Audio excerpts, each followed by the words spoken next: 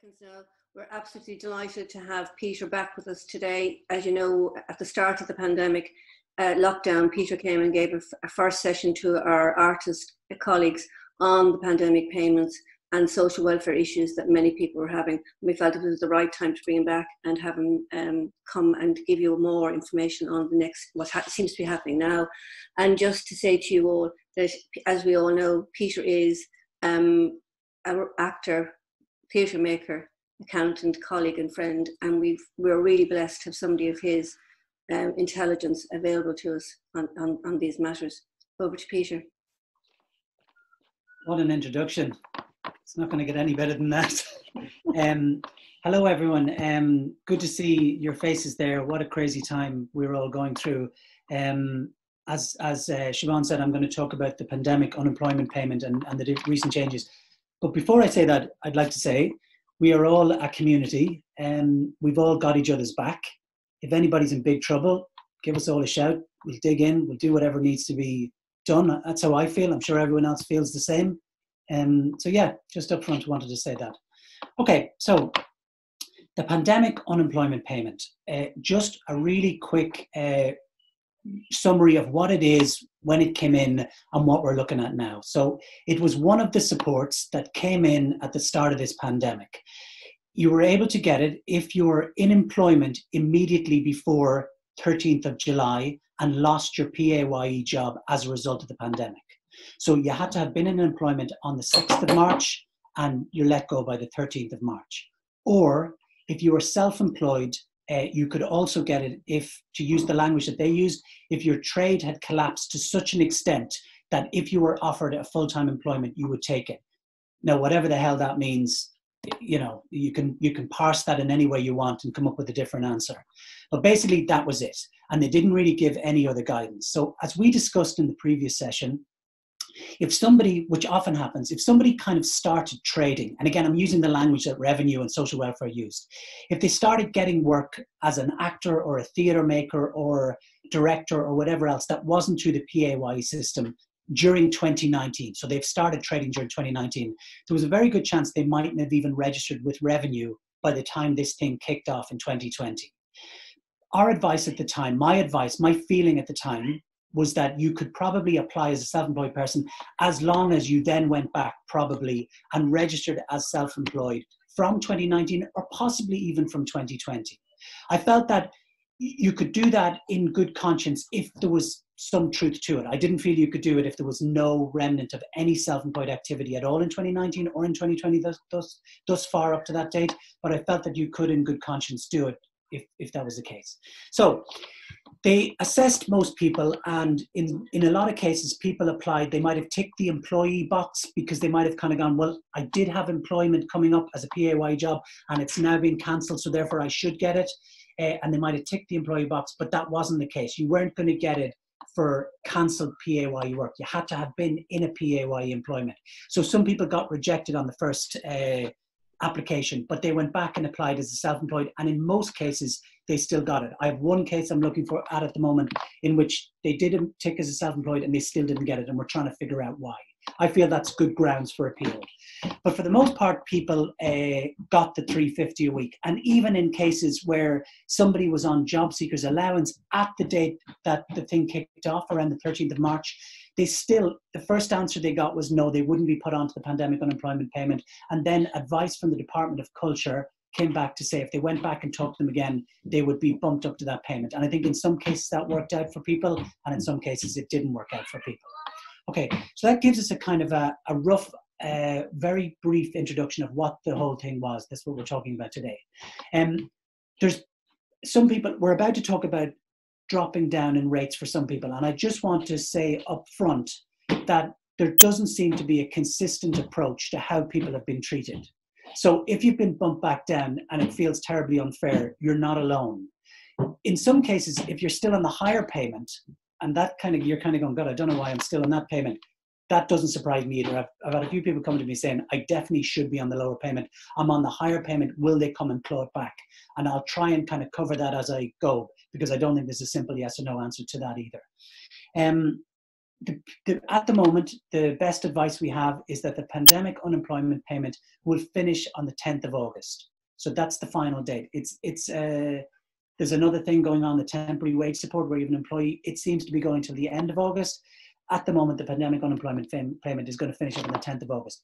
Whether or not that gets extended, we don't know. Whether or not that gets extended for people who work in the arts and other areas which have been uh, particularly um, affected, I don't know. I'm not suggesting it will be or that I've got any indication that it should be, but I think that between Theatre Forum, Irish Theatre Institute, Equity, etc., you know, there are uh, submissions being made to try and recognise the fact that, you know, other jobs are possibly going to start kicking back in.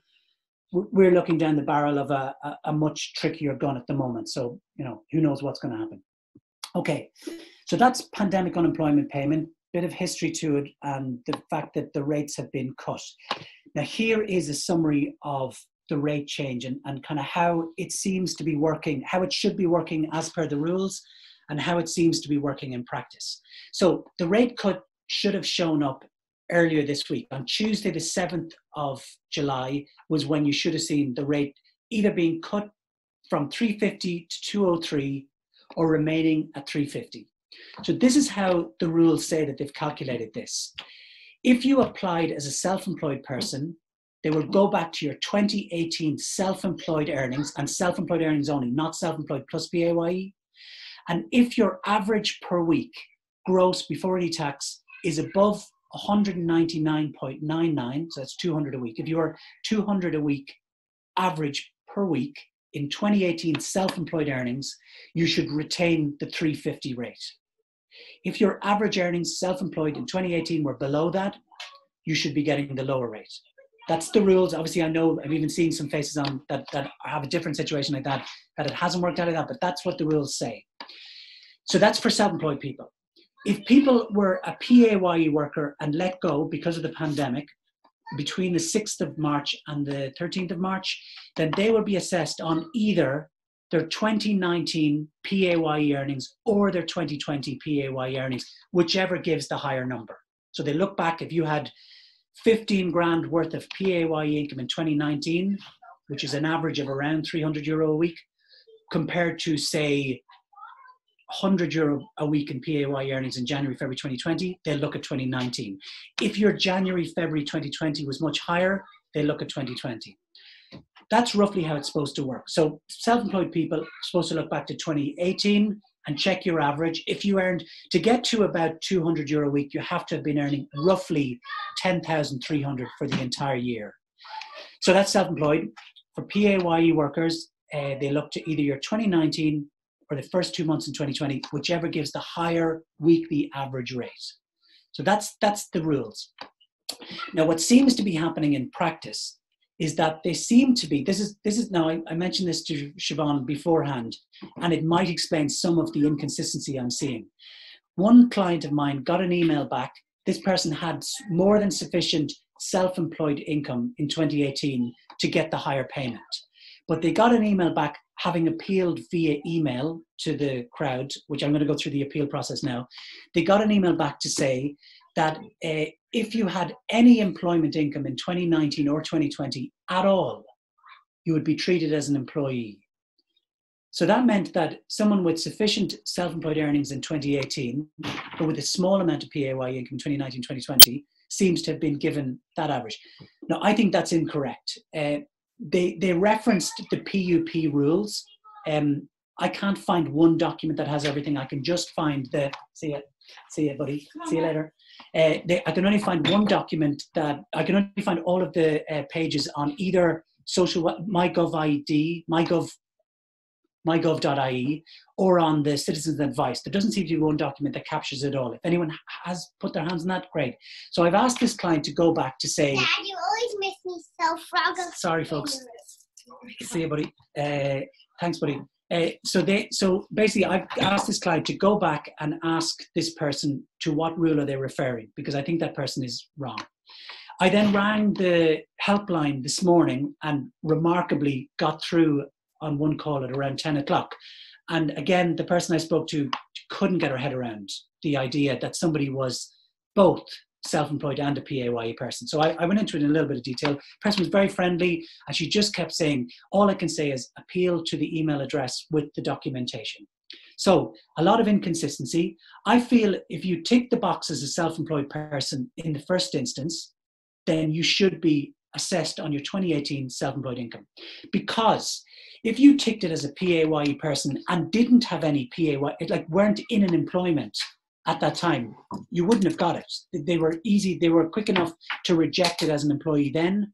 So my feeling is that why would they then go back and look at your employment earnings? But you know, we'll keep working on that. In fact, Owen Carrick uh, did a very good email um, where he has uh, done a appealed it, and if, if Owen is happy with me sharing that email yeah, with I'm happy to do that. Yeah. Owen, Owen is giving us a big thumbs up there, so we're all good there.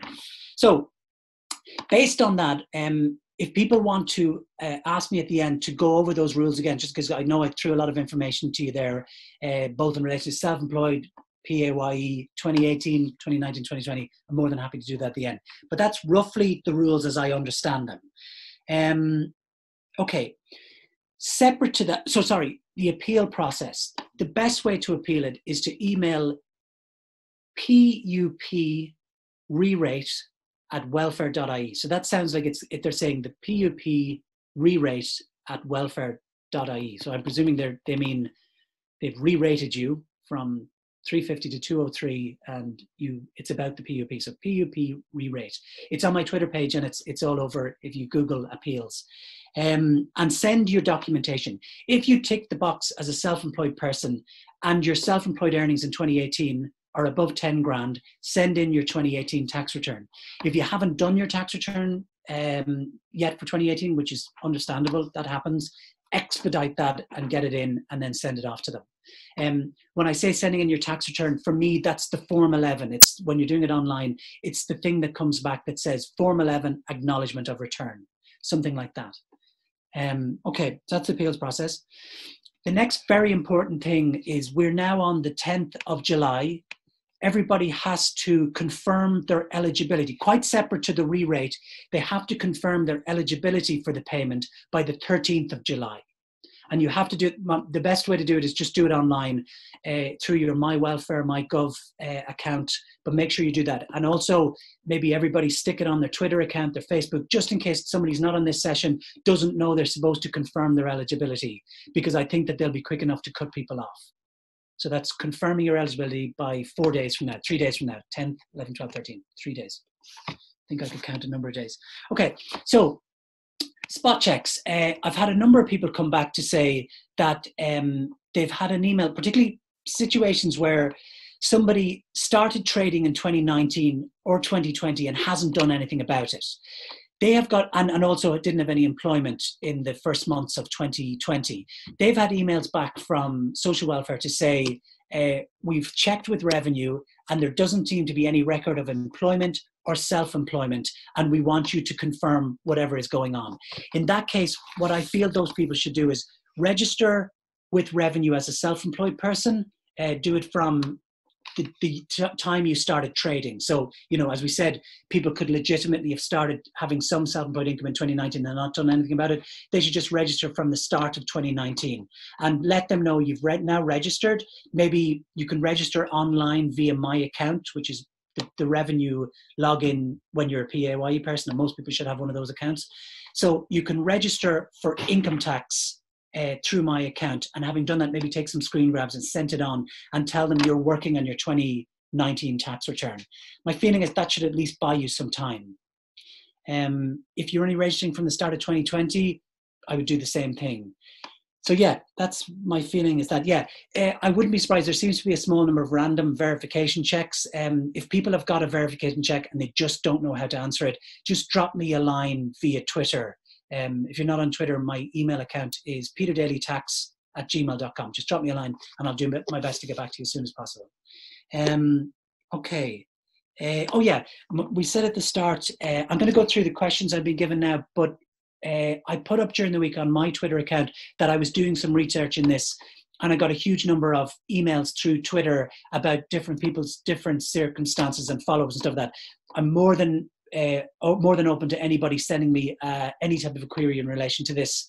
on Twitter, you're not just doing yourself a favor, you're doing me a favor because I'm expanding my knowledge as to how this whole thing is is playing out, and it's giving me uh, uh, knowledge that I can go back to my own clients uh, and so forth. So there's no problem with that. I'm on Twitter on Peter Daly 10 Twitter. Uh, great. Okay, some questions now. Everybody doing okay? I just do a very quick, yeah, thumbs up, getting thumbs up, yeah. Nobody's losing the will yet. Great, lovely.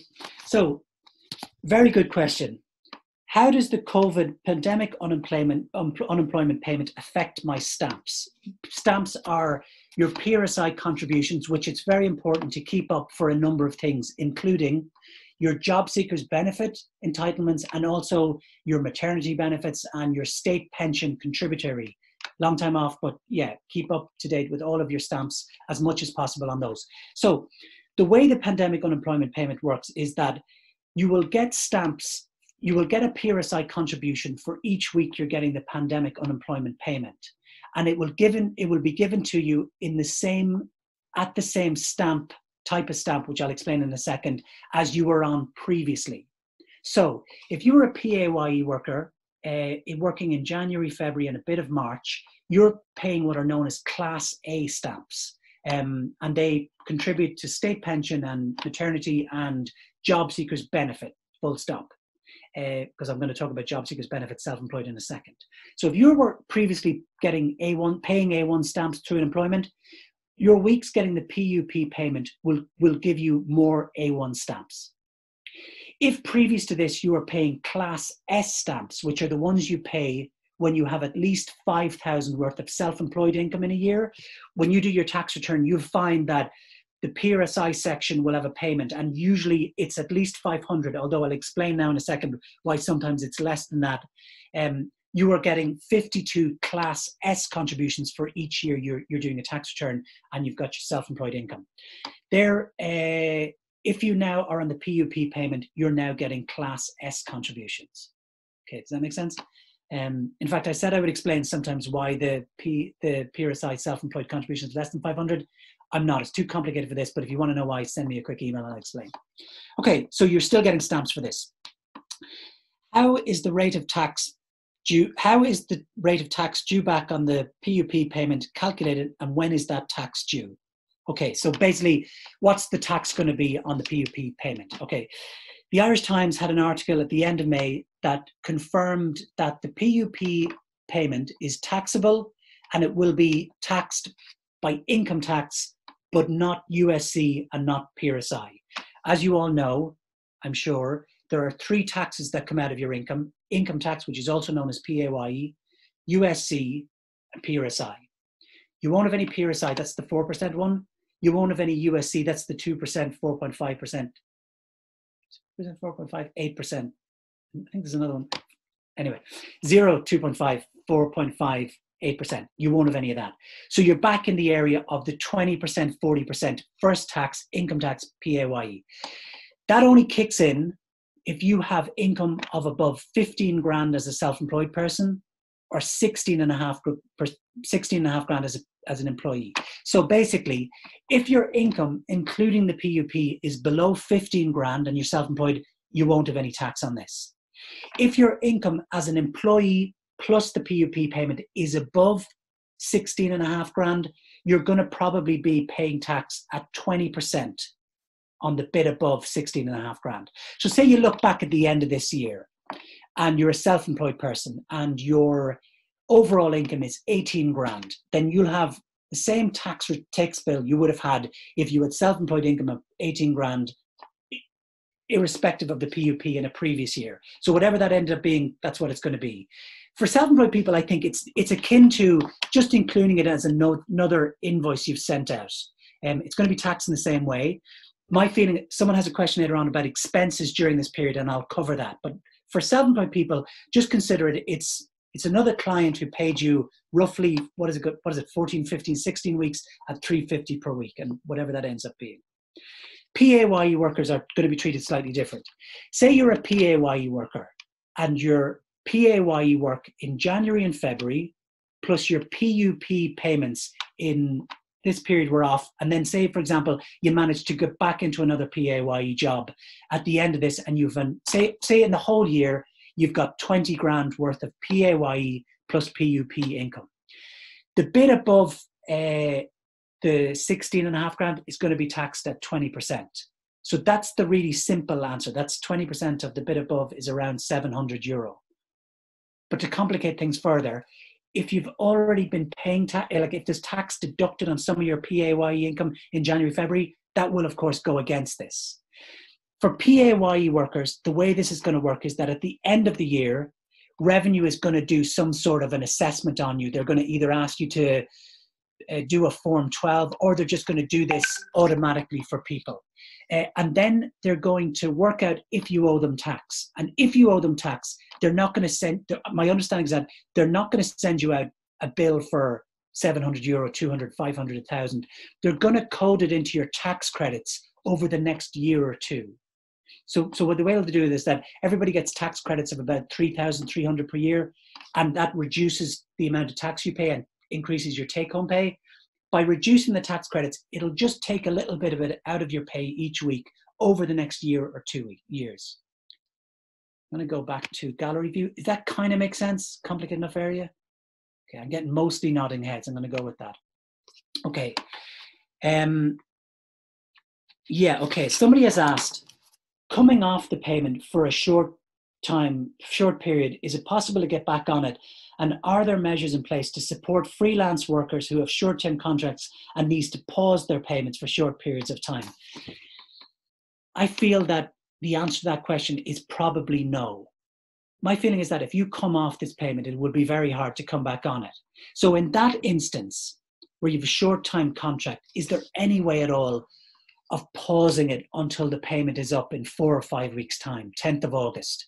Um, and that can work in whatever way you want. Um, perhaps you could agree with whoever you're working with that the work will be done after 10th of August and you will invoice them after the 10th of August or something like that.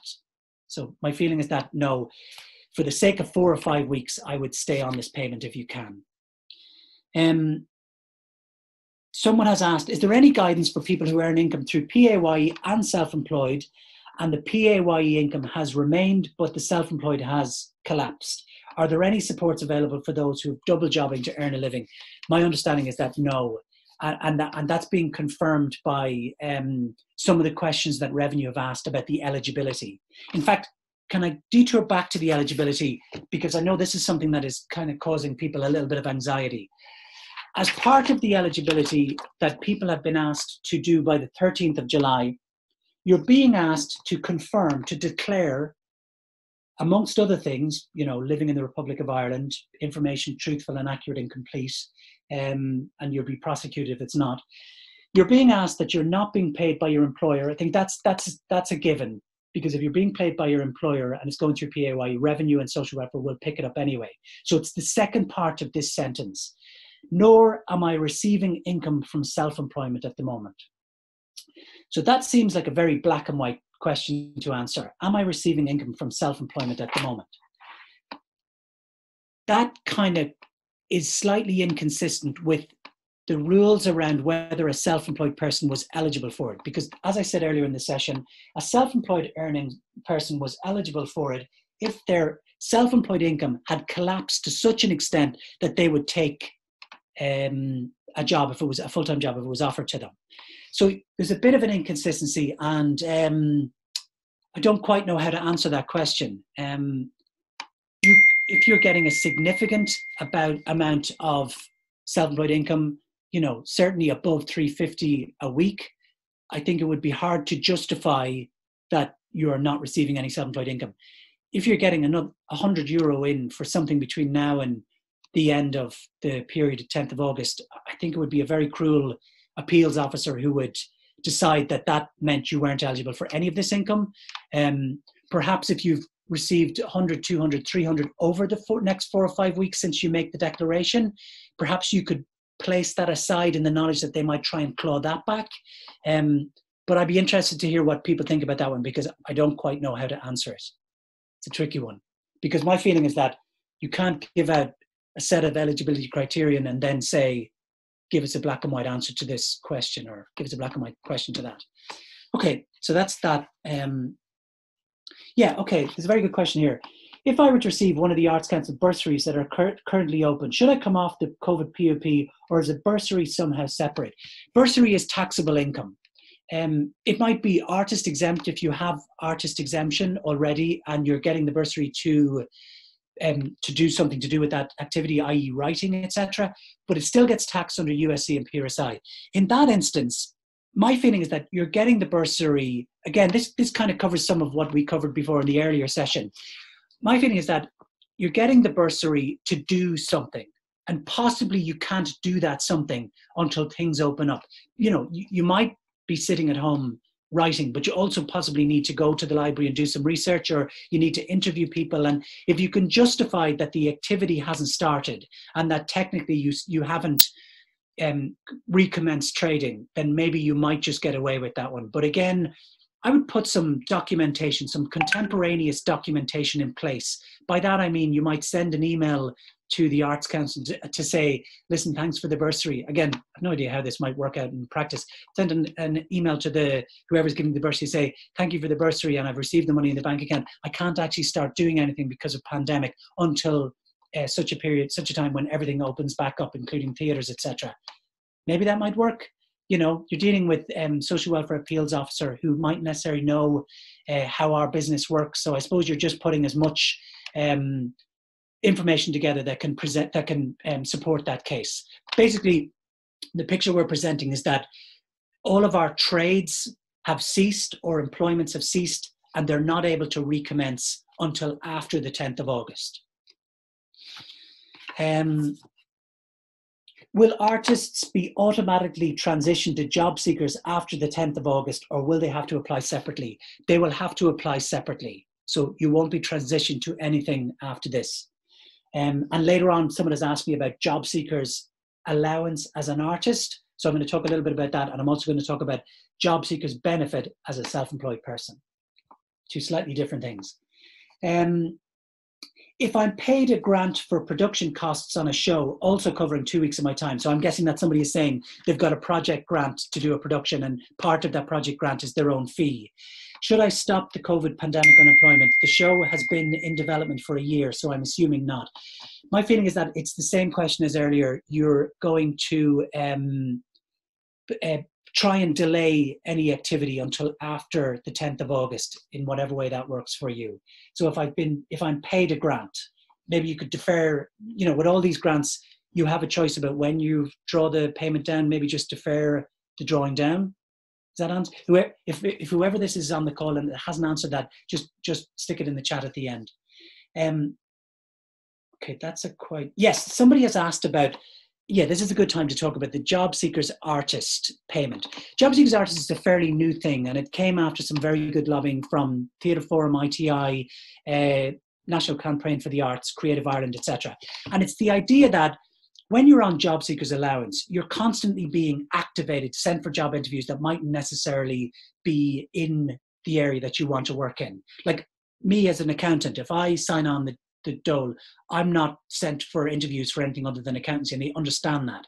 But artists seem to be put in a different category. So there was a recognition that, you know, this is a very valued profession and should be valued within social welfare in this way. So they came up with an idea that you could sign on for job seekers allowance which is a means tested payment. It's not to do with your stamps. So you have to not have any income coming in or very little and you have to not have a huge amount of money in your bank account. Um, but you had to be registered with various organizations. And at the very start it was quite narrowly drawn. It was um, the writer center and it was visual artist ireland. So it was writers or visual artists. Now it is you can google this but it's um, visual artists ireland equity Irish Writers Centre, Musicians Union of Ireland, Dance Ireland, Musicians Union, SIPTU, uh, Writers Guild of Ireland, Screen Directors Guild of Ireland, and the Irish Street Arts Circus and Spectacle Network.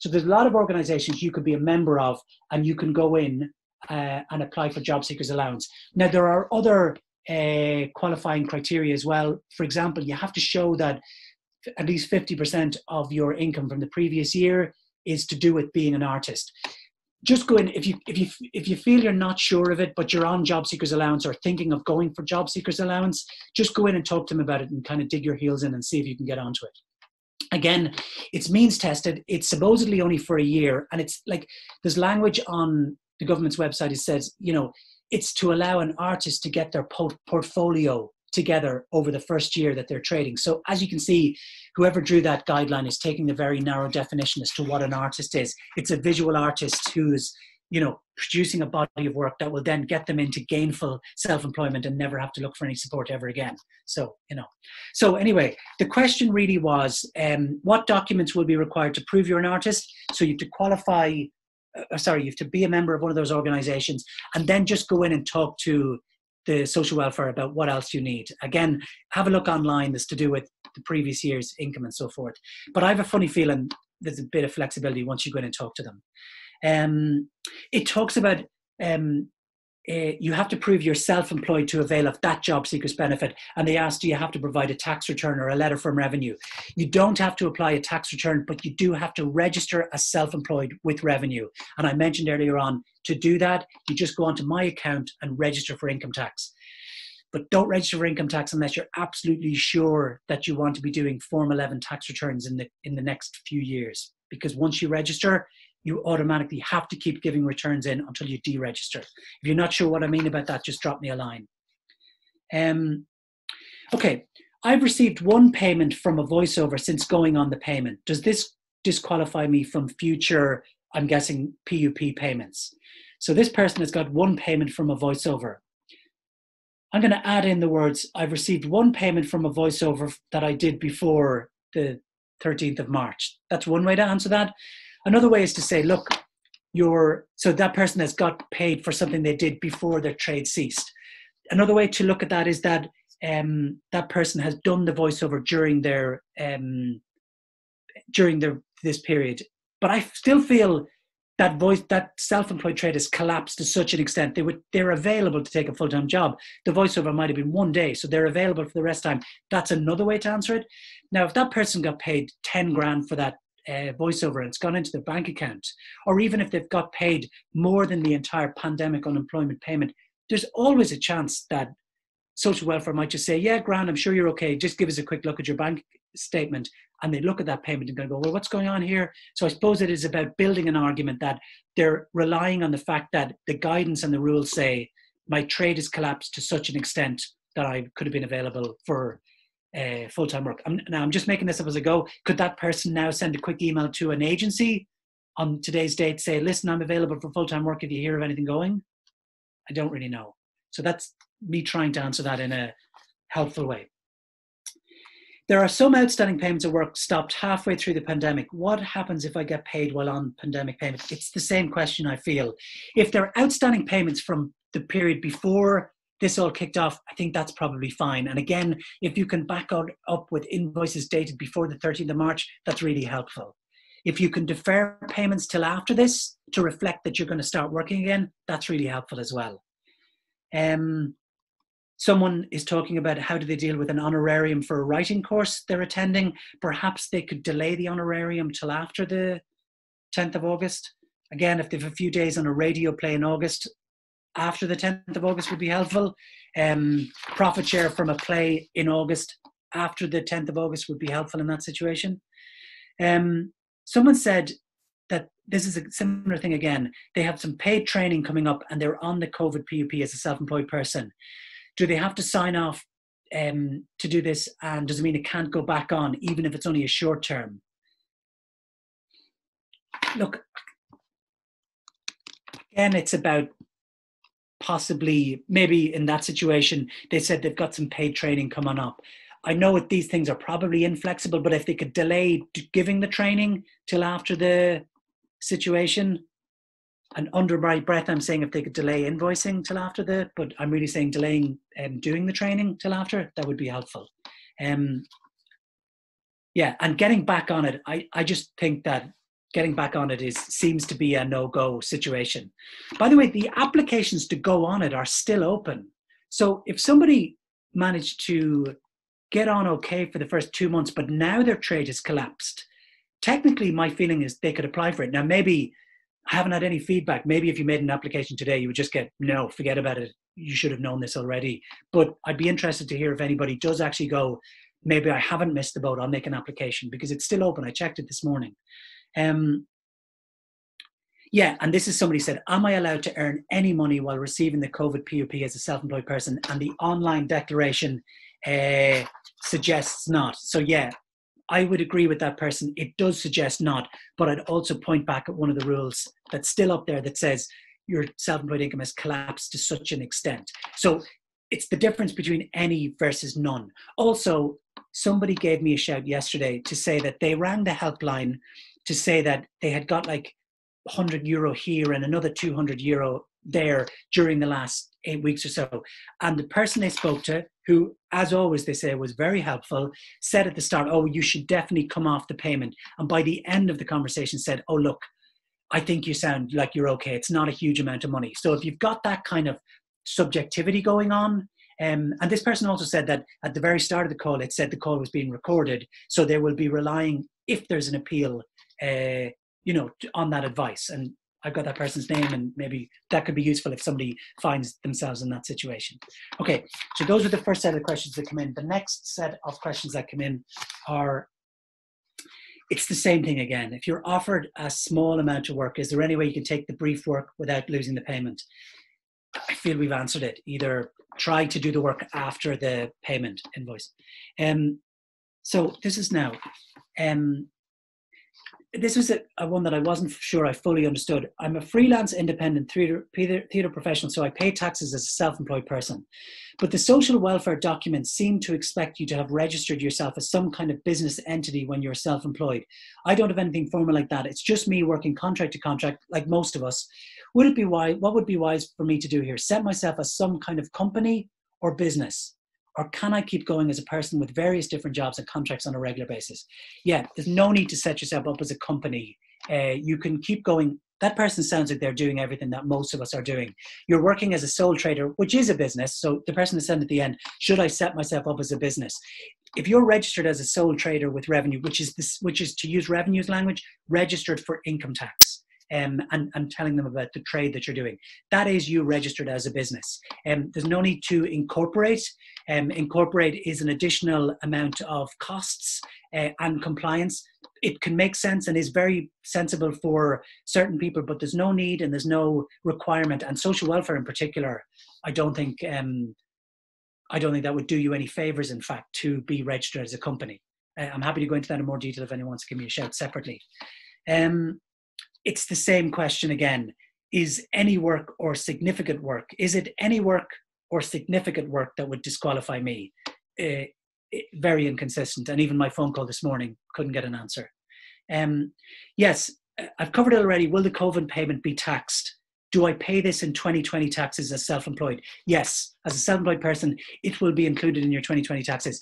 What normally happens with taxable social welfare payments is that it shows up as pre populated in your Form 11 tax return. So it should show up there. I mean, obviously, we, we don't know what that's going to look like until 2021 when they open up the 2020 tax returns, but my understanding is that it will show up as taxable.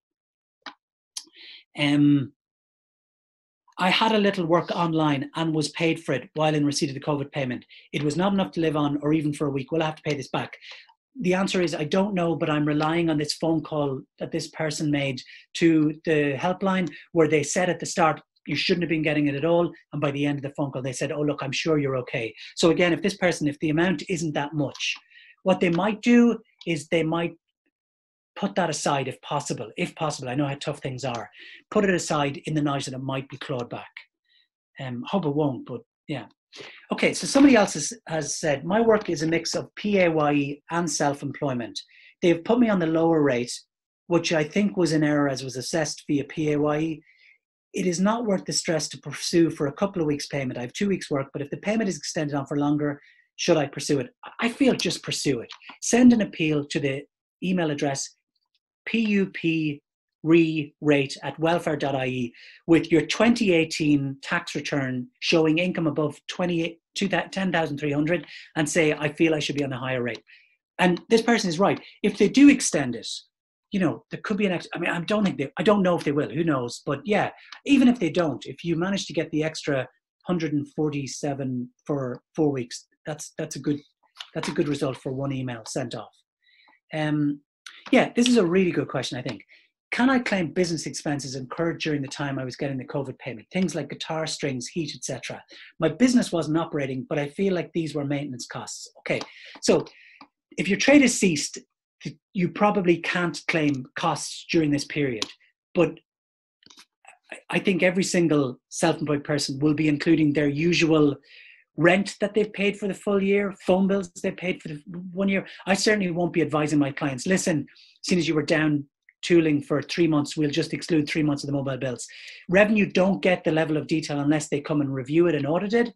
Um, and I just don't think those are the things they're going to be focusing on. And also, we're talking about, you know, not a huge amount of money in this person's question, but it could be a huge amount. For example, someone meant, may have had to keep up the rent on their studio or whatever. My feeling is it just included all. And what I always say to my clients, A, let's hope the question isn't asked. And B, if the question is asked, let's hope that we can give an answer that's plausible and that revenue can accept. So yeah, I wouldn't take this period out because you know we're this is unprecedented it's never happened before no one knows how revenue are going to deal with these type of queries but you know you got to keep your business humming while everything's going on in the hope that you can get back and hit the ground running after this is all finished um, so somebody else said, I've had my PUP payment reduced due to low income in 2017 and 2018. Now they've said 2017, that shouldn't be relevant. So I'm guessing that might be either an error or they meant 2018, 2019. I have requested they assess me again, good, uh, and instead use last year's income, which is 2019, as an employee, as that would be sufficient. That's a good question. And whoever that is, if they want to let me know how they get on. So what they seem to be saying is that they um, were assessed on low income in 2017, 2018, but they've higher income in 2019. As I mentioned, if you're an employee, they will look at 2019, work out the average, and 2020, work out the average, and then give you the better of those two options. Because um, they've mentioned as an employee, if 2018, 2018 as an employee should be irrelevant.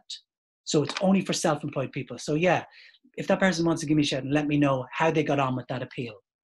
Um, and I think that is everything. I just want to see I had a few pages printed out. Was there anything else I felt was important to say? That's it. So, um, Peter, we've actually had a couple of um, things kind of come up in the chat that I think we'll look at trying to address now, if that's okay with you. Mm-hmm. So, um, first, um, somebody asked the question, uh, Kathleen Warner Yates asked the question the pandemic unemployment payment finishes um, August 10th, which is a Monday. So is the last payment Tuesday, August the 4th? That's such a good question, Kathleen. The um, my understanding is that the payment week runs from a. I'm going to look it up, and I'm going to look it up as we're after answering this question. It's a funny week. It's not a Monday to Sunday. It's either a Tuesday to Monday, which explains why they might be doing on the 10th, or it might be like a yeah, it's definitely not a Monday to Sunday. I think it might be a Tuesday to a Monday, but I'll look it up because I, I saw it this morning. I went, or during the week when I was researching this, and I went, okay, that was something I didn't know. Because they said it in the context of you would find out your new rate by the Tuesday the 7th, and it would be based on the previous odd week. But it's a good question, and it's a very easy one to answer. I'll check it out and get an answer back to you. Thanks, Kathleen. Um, so we just have a series of um, anonymous questions now. Um, so the first is, could you ask whether income from uh, is income from 2018 subject to the artist um, exemption being taken into account? It's a really good question, and it would seem there might be a little bit of inconsistency there. It should be. There's no reason why it wouldn't be. It's taxable income. It just so happens it's not included in income tax. But I've had at least two people came, come to me to say they think that's the reason why. And in those situations, what I would say is to go back with an appeal, showing your tax return, and if to make it as helpful as possible, your tax return might have like the income that is taxable for income tax in one place, but your total income, including the artist's income, in another place. Highlight the total income and explain it in the email. The person you're dealing with may not even have heard of artist exemption or don't know what it is, but it is taxable income. It's included in total income in many of the different definitions of what is total income. Um, but, but sorry, just to, just to underline that, it might explain why some people have been bumped down, and I feel it's good grounds for appeal. And also, uh, we'll make sure that the Department of Culture by we I mean ITI, Theatre Forum, National Event for the Arts, will make sure that that is something that shouldn't cause any confusion. Yeah, and uh, just to reiterate, we'll repost the email address that the National Campaign for the Arts uh, did a lot of work in, in getting to, you know, let the department know kind of where these gaps in the system exist. And um, so um, another question in there was from an artist who was based in England and doing their tax returns there in 2018. Uh, could Peter advise if I should submit my UK tax return to appeal my re-rate? No, definitely not. Don't give any indication at all about the UK because one of the um, one of the things is that you have to have been currently living in the Republic of Ireland. I'm sure this person is and was when they applied, but to give them anything to do with a different jurisdiction is just going to confuse them. In that situation, what I think I would do is give the most recent information. Uh, somebody had sent me an email via Twitter saying that they've sent off invoices for 2019 to show that they're doing you know they're in business and, and trading they just haven't done a tax return i wouldn't give the 2018 because i think that it would be too easy for them to just kind of go doesn't qualify okay and uh, the next question i have here is um, will the payment be backdated? For example, I've been changed to 350. Uh, I've been changed from 350 to 203 it'll most likely be a few weeks before it's all sorted. Do you reckon we get paid out the 147 from each week we've missed when it's rectified? Yeah, I think so. That's my understanding based on uh, queries, the comments they made at the very start of all this, where they said, you know, if you apply for it and you don't get it, but then you're upgraded, say you don't get it and they put you on job seekers allowance and then you get upgraded to the 350, you'll get the back pay. I'm using that as, uh, you know, I feel that that's that's enough for me to say that yeah, if you get bumped up, they'll give you a backdated payment. Um, brilliant, thanks. And then if that, if person doesn't, if that person doesn't, maybe they'll drop me a line and we'll figure out an argument to make on their on their basis on their behalf. Perfect, thanks. So just anecdotally, somebody has messaged here saying that somebody they know actually had to give their bursary, this goes back to the kind of bursary question, give their bursary back in order to get the COVID payment but they said um, more info they can draw it down again but actually had it in their bank and had to transfer it back can i ask that person if they won't mind saying anonymously who said they had to do it was it social welfare or was it uh, advice from their accountant or whatever else because that would be useful here but that sounds like a very sensible because on the face of it you're kind of going i've got this money i can't do the work because we're now in lockdown so i'm going to give it back until i can do work because my trade has ceased obviously, wait and see if they get back to us I, I, think in most funding bodies uh, cases, the idea of money coming back into their account might just melt their heads. So I'm surprised that even the funding body in that situation was open to that, but I'm delighted they were. Um, another question here. How will they verify self-employment income if we are not uh, forthcoming with documentation? Can they ask for your bank statements? They well, obviously it's in your interest to give them it to get the payments out of them. Um, if you don't give it to them, I imagine that would be the end of the situation. I'm to to the best of my knowledge, social welfare does have. You know what? I deal mostly with revenue, and revenue absolutely can ask you for what you want, what they want, and if you don't give it to them, you can lead yourself open to prosecution. I'm guessing social welfare in this situation where you've been given a social welfare payment can also do the same thing. Um, I'm reading between the lines slightly. Perhaps that person doesn't feel that they would retain the payment if they didn't give the documentation. Re- revenue or social welfare have said that nobody will drop below what they were previously paid.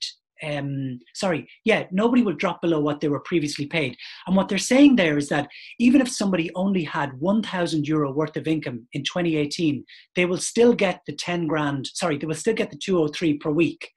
Because as long as you are anything below 199.99 you'll retain the 203 so in that situation my feeling is just as unless the documents are incredibly self-incriminating i would give over the documents. Um, should i declare self-employed income from 2019 and 2018 as a paye employee or should i register as self-employed and do it that way i'm still a paye employee in receipt of the pandemic unemployment payment so, um, could you read that out to me again, Catherine? Sorry. Yeah. Um, I, I just want to make sure. Yeah, should I declare self employed income from 2019 and 2018 as a PAYE employee, or should I register as self employed and do it that way? I am still a PAYE employee in receipt of the PUP. and and I'm guessing that that person is getting the 350. So this is a slightly separate question. If they're getting the 350, or maybe they're not actually, maybe they could follow up with that. Maybe that's why they've asked the question. Whether or not they should declare that income for 2019 and 2018, um, it depends. First of all, you should always declare income to revenue because they'll catch up. They might catch up with you at some point. But whether or not they should declare it as a self-employed person through a Form 11 tax return, which can capture self employed income and PAYE income, depends on whether or not the level of that self employed income is above or below 5,000 euro. And that 5,000 euro is after expenses. So if you have self employed, or actually to, to use the wider definition, if you have non PAYE income above five grand after expenses in any tax year, you are supposed to register for income tax and do a long form Form 11 tax return. So in that person's situation, I think I would um, uh, check to see is the income above and below five grand. If it's below five grand, uh, and this is not to do with the level of the PUP payment, just stick it in a Form 12, which you can do via my account. Mm-hmm. If they're asking the question because they have a big chunk of self employed income in 2018, and they're wondering, should I now go and do the 2018 tax return get registered as self-employed and then get a higher PUP. I have a funny, funny idea that by the time this whole plays out, they'll be out of time to do that, but I could be wrong. Um, thanks, Peter. Um, uh, another another question in there. So I'm on a higher PUP rate as I was about to go into rehearsals for a show in the Gate. I wasn't under contract yet, so now I'm thinking I shouldn't have gotten this payment at all. Any thoughts on this and thoughts on the uh, on confirming eligibility?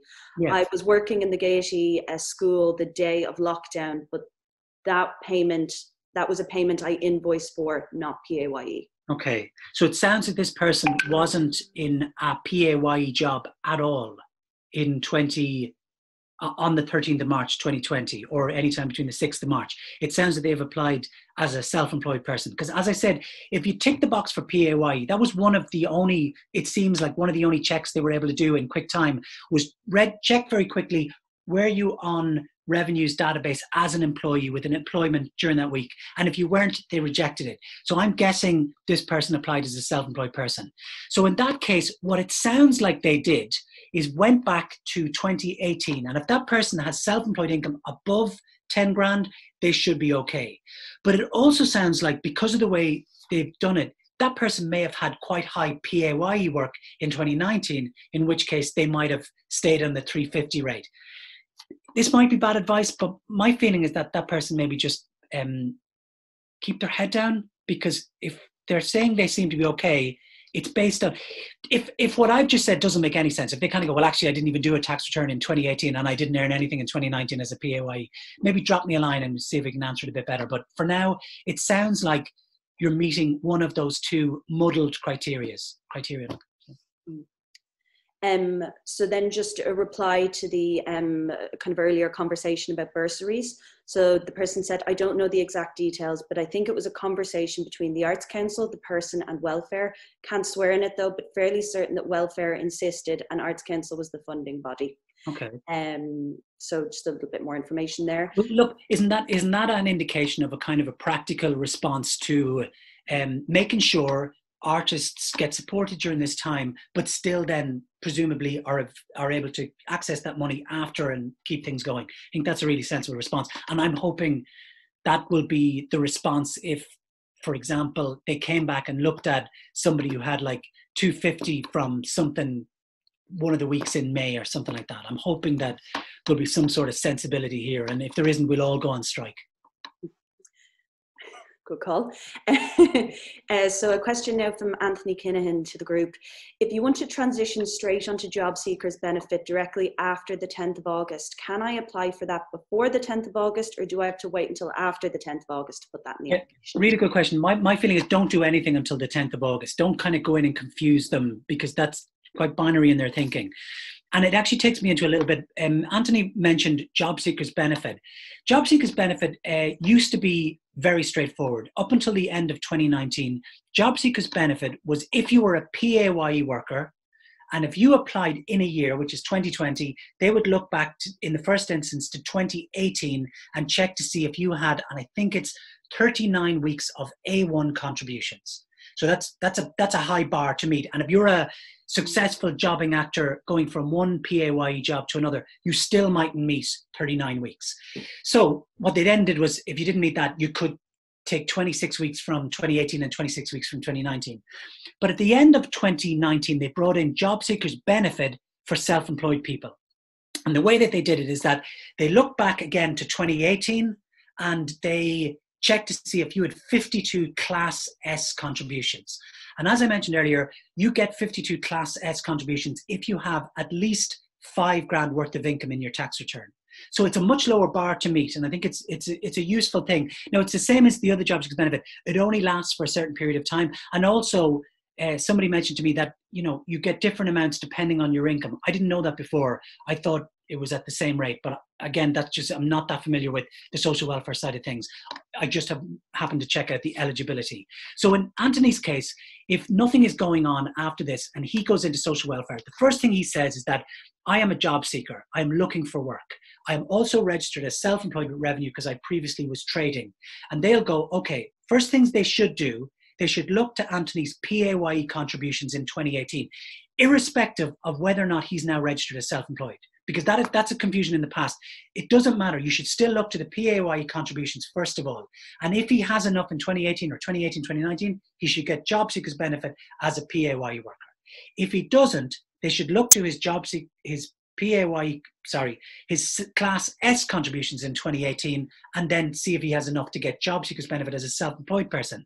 If he doesn't have either of those, he should then be assessed as a job seekers allowance person, someone seeking work uh, and available for work and doesn't have the means at the moment. He can also go, okay, you've gone back to my job seekers, my PRSI contributions in 2018 and worked out I have 52 class S contributions. And now you're looking at my income and you're only giving me 90 euro a week. And actually, I'd be better off on job seekers allowance. And my understanding is that he can go to job seekers allowance, which might be a higher payment. But again, if anyone has real life experience in that, please let me know. Brilliant, thanks. Um, so a couple, I, I realize now it is um, 12, but we've got maybe six more questions kind of coming okay here. That, yeah. So um, we might just keep going to try and address them all if that's okay with you. Yeah, yeah of course. Um, so um, is the 2018 assessed income net or gross? Gross, which is the one before tax. Cool, thank you. Um, so this is, I don't think there's a question in this one. I think it's more a comment. So it says, it was originally stated that if you did not get the first couple of weeks of the pandemic payment because you were either late applying or had to appeal, that those weeks would be made up at the end. Um, my husband went from the pandemic unemployment to wage subsidy scheme when his PAYE job came back, but he hasn't gotten the unpaid weeks of the pandemic unemployment payment yet. Yeah, to go back to the very start of that question, uh, the person said that, excuse me, um, that there would be a suggestion you would be paid at the end in two different scenarios. One of those was when you're late in applying. I, I, knowing how social welfare operate, if you're late in applying, they don't tend to go give you the bits before you applied. For example, if you finish a PAY job but you don't manage to make it into social welfare's office for two weeks, they won't go from the date of the what used to be the P45, they'll go from the day of the application to the best of my knowledge. So in that situation, I'm not sure that'll work out. But for the earlier bit, I, I, I guess it does. And there's something on, definitely on one of the social welfare, yes, where it says, um, you know, it talks about getting the payment that might increase if you had child dependence. Um, and it says it may take some time to process this additional payment, but in the meantime, you receive a minimum of the 350 and any additional payments will be backdated when it is paid. I'm guessing that person's talking about that situation where they, they might have got, but, but not, I don't, I don't think in the case where somebody has taken a couple of weeks to apply. Okay. Again, if, if somebody finds out that's not correct, maybe let me know and I'll post it up on my Twitter or whatever. Brilliant, thanks. Um, so another question here, two artist household here, uh, both on COVID for now when we return to job seek uh, when we return to job seekers will one artist receive payment and the second artist be dependent? I don't know. I don't know enough about the social welfare to see how that might work. Um yeah i'm not sure. Sorry. Um, if I received one or two small self-employed payments for voiceovers while receiving the pandemic unemployment payment, should I tell social welfare or wait until they come looking for bank statements? So, um, Jonah, I'm going to put on gallery view. I'm going to just do a really quick thing. If you think this person should uh, tell social welfare, will you nod your head? And if you think the person should shake, not tell them, will you shake your head? Yeah, I'm getting a consensus here. Um, my feeling is that, look, it's not like this person is trying to willfully uh, defraud the system. You're in a situation where you've got like a little bit of income coming in. Um, you're relying on the fact that your trade has collapsed to such an extent that if somebody gave you a full-time job you would take it. Um, you've been paid for a day's work or an hour's work or something else. You've got to rely on that. Um, my feeling is that if you tell social welfare they're going to have to do something about it. But perhaps a better uh, thing would be to just keep it in the back there and just go you're relying on that. And when social welfare if they come knocking print out the bit that says, but my trade collapsed to such an extent, maybe send an email off to an employment agency to say, have you any full time work going? But yeah, I'm not sure that I would tell social welfare at this moment in time. But then again, I'm, I'm not really, social welfare again, and like I know from people who are registered as self employed and they go in and tell social welfare they've got a few days as a self employed person, and like, one time out of two, everybody says to me, it depends on who you speak to. And yes. one time out of two, the person in social welfare goes like this to them, oh, what do I do with this? I don't even know what to do with this. So it's a really tricky one. And social welfare are used to dealing with people who are either employed or unemployed, or self employed or unemployed.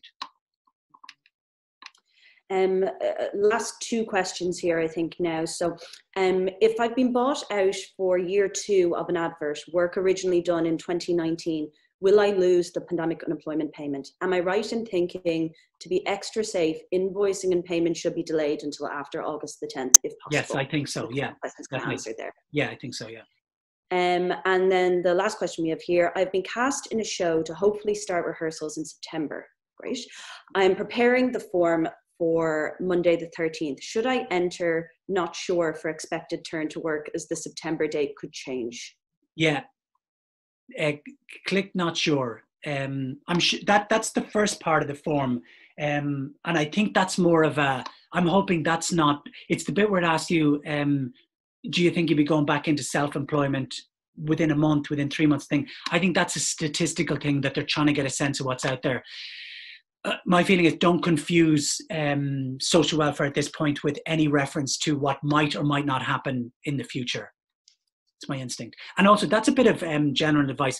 If somebody's going into social welfare uh, and they know they've got a PAYE job coming up in three months' time, don't confuse social welfare by telling them that, even though you think it sounds great, because you're going to say to them, listen, I'm not going to be a burden for more than three months because then I've got a job coming up. It confuses them. At the moment, you have to be a job seekers looking for a job. So you know, if you got a job coming up, you might necessarily be in a position to take a job. That's just to let you know the binary thinking that people from social welfare tend to, you know, be trained to, and probably rightly so, think. Brilliant. Thanks, Peter. So that's all the questions from the chat for now. Um, I don't know if there's anything else, or maybe I'll hand back to Siobhan just to wrap everything up then. So thank you very much. Not at all. Um, but uh, basically, I think we'd all like to give Peter a big round of applause. Um, fabulous, fabulous, fabulous. Um, Peter has very kindly offered to be there, guys, uh, for you. If you so, if you have any queries, um, you can contact him via his Twitter account or his Gmail account. He gave those, and we'll have them as well available for people. If you have any questions on that, we can pass them on to Peter.